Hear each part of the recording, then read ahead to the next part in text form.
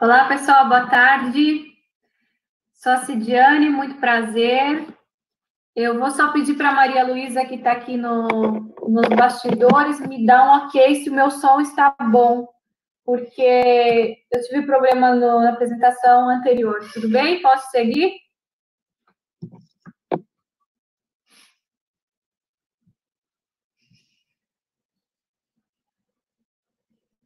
Beleza, então vamos lá, pessoal. Sou a Cidiane, diretora nacional do Projeto Include. Estou aqui hoje para contar um pouco para vocês sobre o modelo de gestão e o conceito de franquias sociais que a gente aplica para escalar esse projeto, que é um projeto de inclusão econômica, social, tecnológica e educacional. Eu vou colocar agora meus slides na tela e a partir de agora a partir do momento que eu colocar os slides, eu não vou mais conseguir é, ter nenhuma interação, é, nem me ver, nem ver o comentário aqui do, do, dos meus colegas. Tá? Então, a gente volta a falar no final. Vou compartilhando a minha tela aqui. Vou colocar os slides para a gente poder começar a conversar.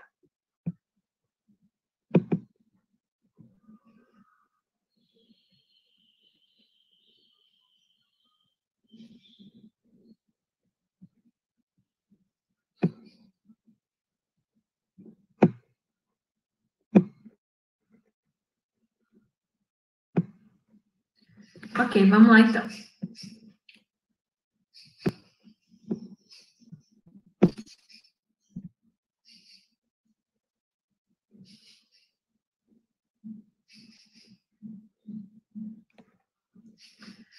Como falei anteriormente, sou a Cidiane, sou diretora nacional do projeto Include, sou formada em administração, é, sempre trabalhei na, com empresas privadas, tenho uma experiência no, no, no, mundo privado, nunca tinha trabalhado com projetos sociais como trabalho, mas sim tinha trabalhado como voluntária, né? Eu, eu, eu conduzia uma ação de uma ação social na minha cidade, chamada Pato Branco, no Paraná, e foi lá que eu tive o contato a primeira vez, aliás, foi em Curitiba que eu tive o contato a primeira vez com a ideia do projeto Include, é, e Pato Branco recebeu uma Campus Party né, nesse ano de 2017. Fiquei sabendo dos laboratórios e depois na Campus Party de 2018 que eu pude é, conhecer melhor o projeto e fiquei encantada com a ideia, fiquei encantada com a possibilidade, há dois anos e meio atrás, ouvi falar em, em levar laboratórios de robótica para comunidades carentes, era algo muito inovador. Hoje eu sei que a ideia de laboratório de robótica ela está um pouco tá, tá, mais propagada, mas naquela época era totalmente inovador e era para mim era muito empolgante essa ideia de proporcionar tecnologia, de levar tecnologia para esses ambientes de maior vulnerabilidade. Até porque eu fui uma criança que poderia ter sido beneficiada com um projeto como esse. Então, eu olhei para a minha realidade de, de, criança e pensei como seria importante que outras crianças como eu tivessem essa oportunidade. E comecei a me envolver com o projeto Include como embaixadora, comecei a atuar na minha cidade, ficou como um legado pós Campus Party, foi instalado dois laboratórios em Pato Branco, e apoiei a instalação desses laboratórios, depois eu dei é, continuidade apoiando é, outros estados também. E em 2019, depois de, de finalizar um outro compromisso profissional, eu assumi a gestão desse projeto, com o objetivo de instalar 10 mil laboratórios de robótica em favelas, comunidades carentes e comunidades isoladas de todo o Brasil. Sinceramente, na, naquele momento, não, não, não tinha muita ideia do que isso representava. Né? Para mim, era um número alto, empolgante a ideia, e ouvia falar com tanta paixão sobre o projeto que me empolguei com isso e pronto, comecei a trabalhar. E pela minha experiência profissional, eu tive alguns contatos com, com o modelo de franquias, né, o modelo privado de franquias, e percebi que a coisa mais importante que eu poderia fazer por esse projeto era trazer a profissionalização da gestão e é, fazer dele um modelo de franquias sociais, que mais para frente eu vou explicar o que, que é, como que a gente aplica isso dentro do projeto, para conseguir promover essa escala que é almejada para esse projeto tão importante. Uh, então, hoje, nós estamos inseridos em oito estados, temos é, 25 laboratórios já implantados e outros 25 em fase de implantação, pela questão do pela questão da pandemia, que acabou atrasando um pouco, né, acabou protelando um pouco essas inaugurações, mas em dois anos e meio conseguimos instalar mais de, vamos conseguir instalar mais de 50 unidades de laboratórios, include em oito estados do Brasil. Isso é muito importante, isso é muito potente, e ao longo da nossa conversa eu vou é, falar mais por que, isso é tão importante principalmente a questão da, das, de inserir as mulheres na tecnologia através do nosso projeto. Falando um pouco do Instituto Campus Party, ele está no Brasil operando com a Campus Party desde 2019 e ele já tem em seu cerne, né, em sua, em sua missão, é, o apoio à inclusão digital, a promoção da inclusão, desenvolvimento tecnológico, inclusão digital e ele fazia isso uh, anteriormente, antes do projeto Include, ele fazia isso de que forma? Proporcionando a visita ao evento de jovens de comunidades carentes, de escolas públicas, enfim. E a partir do projeto Include, muda um pouco esse cenário, e uh, Francesco, que é o idealizador desse projeto, é um italiano mora há 15 anos no Brasil, que é um, estudioso de sociologia, se interessou pelas dinâmicas da nossa sociedade e entendeu que o projeto Include poderia, um, projeto como o Include poderia ser uma, uma importante ferramenta de inclusão econômica, tecnológica, social. O futuro do trabalho está muito vinculado à tecnologia, não só o futuro, o presente do trabalho, né? Falar do futuro do trabalho já é um pouco ultrapassado. O presente do trabalho ele está muito vinculado aos conhecimentos de tecnologia e ele entendeu que temos muito, muitos talentos desperdiçados nas comunidades e que nós poderíamos dar para, essas, para esses jovens a oportunidade deles melhorar a sua vida, de, de mudar totalmente a sua história através de um projeto de inclusão verdadeiro e importante. E aí que nasceu a ideia do, do projeto Include. É, Para quem não conhece, então, a nossa estrutura física, esse é o, é o layout do laboratório. É, nós prezamos por esse layout, ele foi pensado, ele foi construído para a comunidade carente e, e uh, não queria que vocês pensassem nesse layout como um layout qualquer, eu queria que vocês imaginassem esse layout dentro de uma favela, dentro de uma comunidade carente, dentro da, da do bairro da Paz, aqui, aqui na Bahia, em comunidades extremamente violentas. Imagine o quanto é importante para um, para um aluno negro, uma criança, um jovem negro, que tem condições mínimas de estudar em escola pública, poder frequentar um espaço como esse, ter acesso aos conhecimentos sobre tecnologia. Nós sempre prezamos pela qualidade do espaço, dos materiais, da metodologia do ensino para esses jovens, porque entendemos que começa aí a construção. Quando se trata de projetos sociais, quando se trata de ajudar o outro, nós temos muito o instinto de, de entregar aquilo que sobra, aquilo que está, a, a mesa que está meio capenga, que está faltando uma perna, o projeto que ninguém quer, nós revertemos esse cenário e estamos levando um projeto de escola particular dentro da tecnologia e tem muita oportunidade na tecnologia para essas pessoas. E o, deixei uma bandeirinha aqui do Brasil só para falar para vocês que, apesar desse nome meio gringo, include, apesar de Francesco Farrugia ser meio gringo, que é o idealizador, Campus Party até ter, ter esse nome meio gringo, o Include é brasileiro. Ele foi criado no Brasil e ele foi criado para a realidade das comunidades brasileiras. Como que a gente atua? Uh, nós desenvolvemos o projeto, nós temos, é, criamos, formatamos a ideia, profissionalizamos a ideia e buscamos parceiros que financiem. Nós buscamos e nós somos buscados também por instituições que queiram financiar o projeto. Então, se existe um projeto Include na sua cidade, ou se você tem, é, pensa que pode existir um projeto Include na sua cidade, é, saiba que tem que ter alguém financiando essa iniciativa. Nós temos todo o know-how, nós, nós construímos um projeto barato, acessível, mas precisamos sempre ter apoiadores financeiros para levar esses, esses laboratórios para as comunidades podendo ser iniciativa pública, iniciativa privada, iniciativas mistas, né? Temos aí governos, como o governo de Goiás, através da secretaria da CEDI, que está uh, que, que tá levando uh, aí nos próximos meses, assim que passar a pandemia, nós vamos levar com a parceria dessa secretaria seis laboratórios para Goiás. Então, é um financiamento público para o projeto, mas também temos outros exemplos de financiamento privado, mas sempre é importante salientar que para o laboratório acontecer, é preciso um financiamento para isso.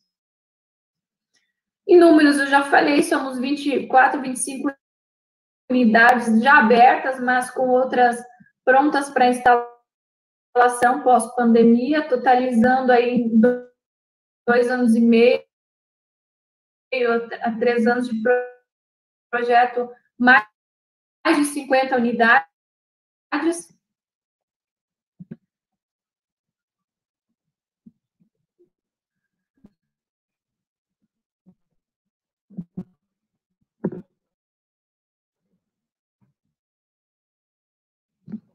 Deixa eu ver aqui que tive um probleminha, deu uma travada. Falando um pouco da nossa história, Aqui. Falando um pouco da nossa história, então, rapidamente, porque o tempo é curto, iniciamos o projeto em 2017 em Canudos, aqui na Bata, no sertão baiano. É, Francesco levou a primeira unidade para lá para fazer um teste de como se, depois disso, em 2018, abrimos outras unidades aí no Distrito Federal, depois no Paraná, aqui na Bahia. É, 2019, levamos os primeiros para o Rio Grande do Norte, depois mais aqui para Bahia de novo, Santa Catarina. E esse ano, instalamos os primeiros, os primeiros dos 13 laboratórios que foram feitos com a parceria do Distrito Federal, com a parceria de Ciência da Secretaria de Ciência e Tecnologia do Distrito Federal. Esses foram os três instalados, três de, de 13, temos que instalar ainda, estamos aí só na torcida para passar tudo isso logo, a gente poder instalar e continuar trabalhando.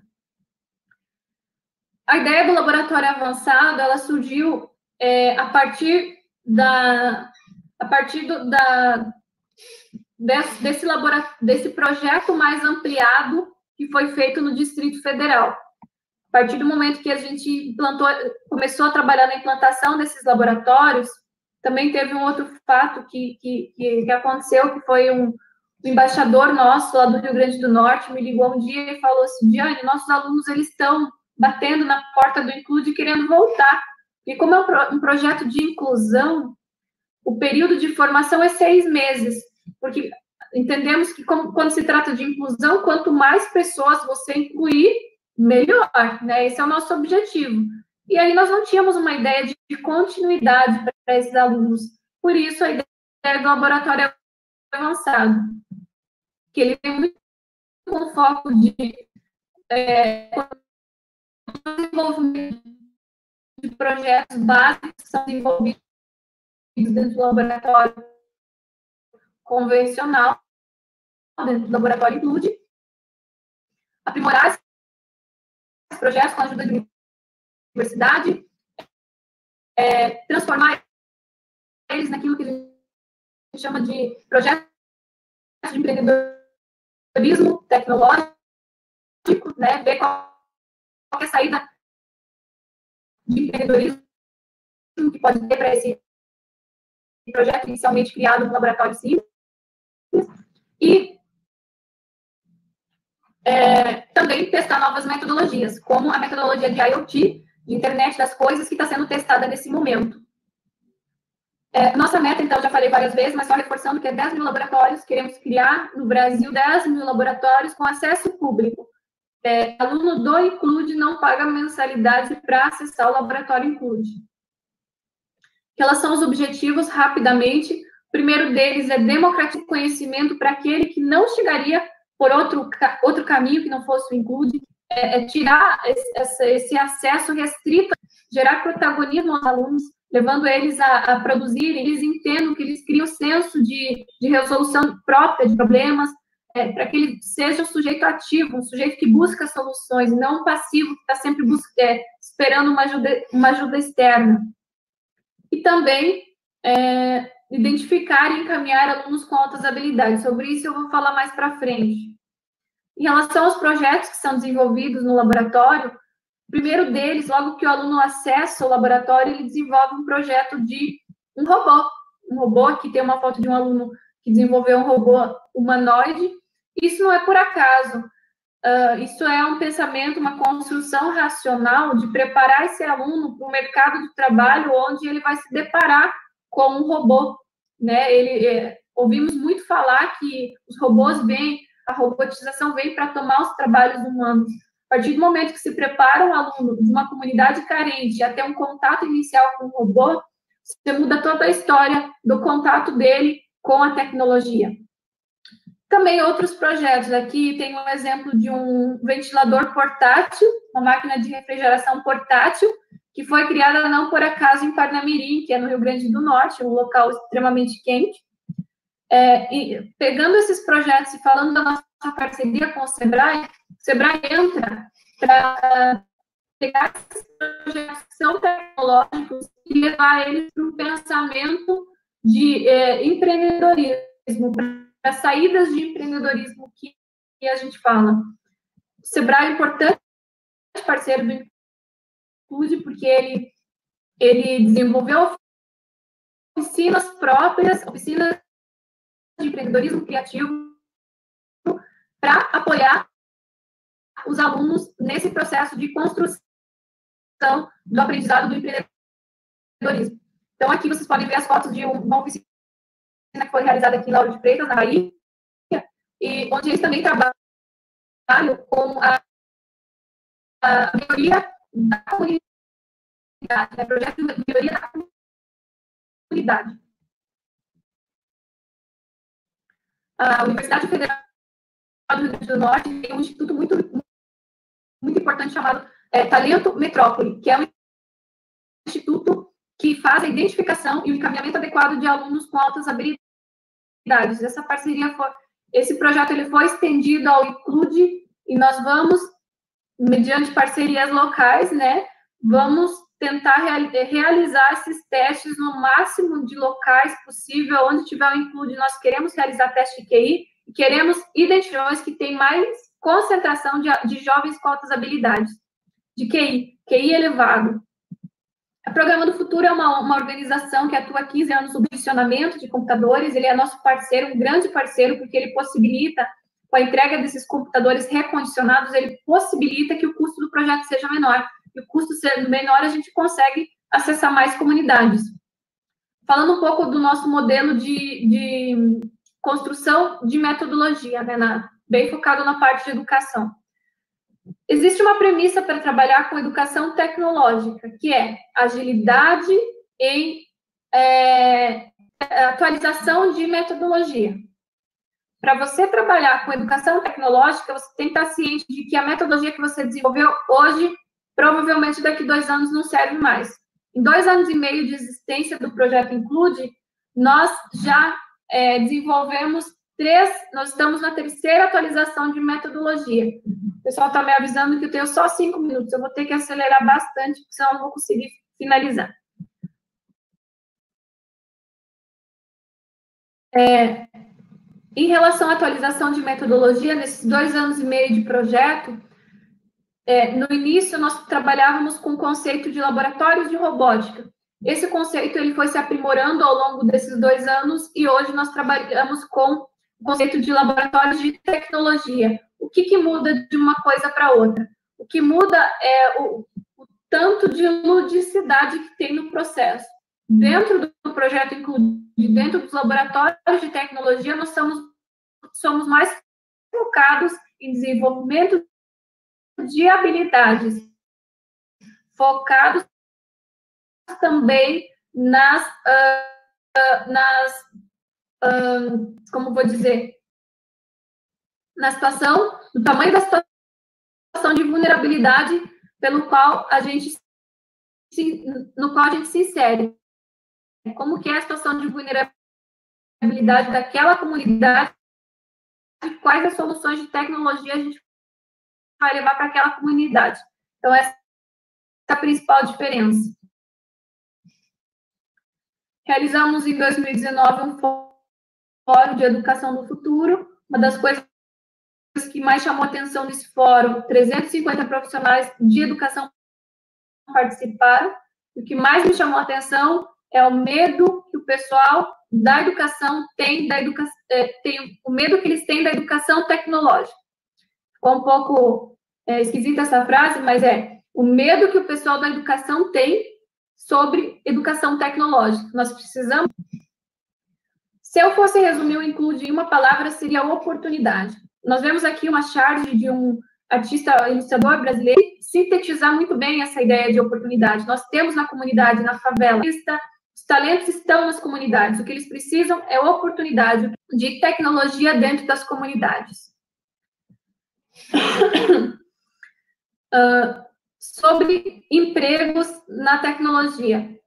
Que eu vou ter que deixar só uma frase e deixar vocês pensar sobre isso, que sempre que vocês ouvirem falar sobre que a tecnologia tira empregos, pesquisem também sobre as, os empregos novos que ela cria, as oportunidades novas que ela cria. Não tenham medo da tecnologia.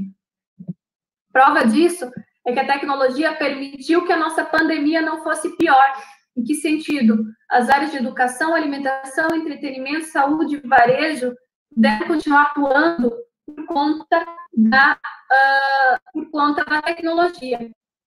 E a questão do empreendedorismo. Qualquer negócio que seja criado hoje no Brasil depende de conhecimentos mínimos de tecnologia. Pessoal, eu vou ter que encerrar. O pessoal já me avisou aqui que eu vou ter que encerrar. Infelizmente, eu não vou conseguir falar sobre o modelo de gestão e franquias sociais, mas eu fiz uma fala bem completa sobre isso no Include, no, no, no palco do Include, e eu vou fazer outra amanhã também. Então, quem quiser ouvir mais, amanhã eu vou focar mais, mais para o final da palestra, para essa parte final, e falar um pouco mais sobre o modelo de gestão, modelo de franquia e modelo educacional. Me perdoe que eu não consegui